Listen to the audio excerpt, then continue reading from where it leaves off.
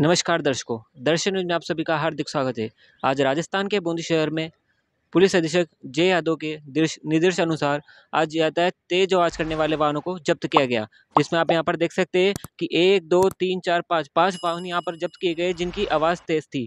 तो आज हम यहाँ पर जिन्होंने जब्त किए हमारे साथ मौजूद है सत्यनारायण जी, जिनसे हम बात करना चाहेंगे। जी, आज जो वाहन दर्ज किए गए तो इनमें आप क्या कहना चाहेंगे? किस तरह से ये आवाज़ें कर रहे थे? किस तरह से आपने इनको पकड़ा?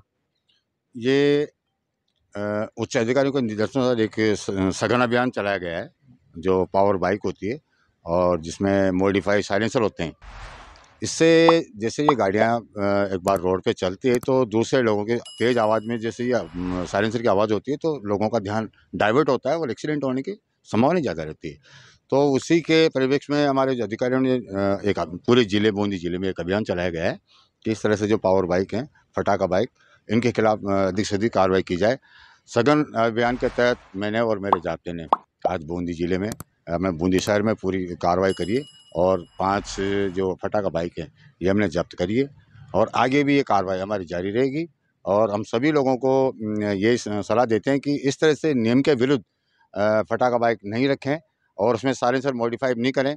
अपने जो कंपनी ने जो साइलेंसर दिए गए हैं वो साइलेंसर ही रहने दें उस पर उसी को लगा करके कार्रवाई करें। पकड़े इसमें किस तरह की कार्रवाई आगे की जाएगी? ये इसका हमने 198 एम के तहत इसमें निर्धारित जो गवर्नमेंट राशि निर्धारित की गई है एक हज़ार रुपये उसका तो चालान किया गया है।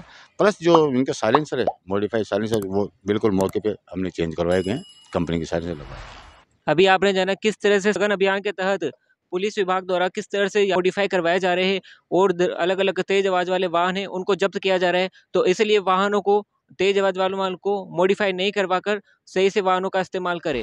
इसलिए और खबर जानने के लिए जुड़े रहिए दर्शन के साथ, जो है आपका अपना विश्वास।